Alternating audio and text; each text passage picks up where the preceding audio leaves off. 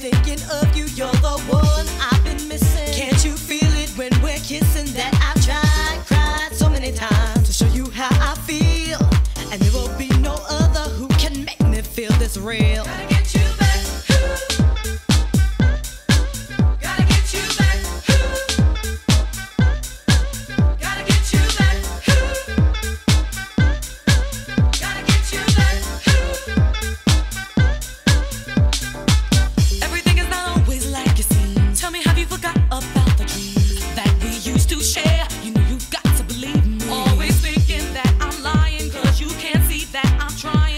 convince you that I need you in my heart.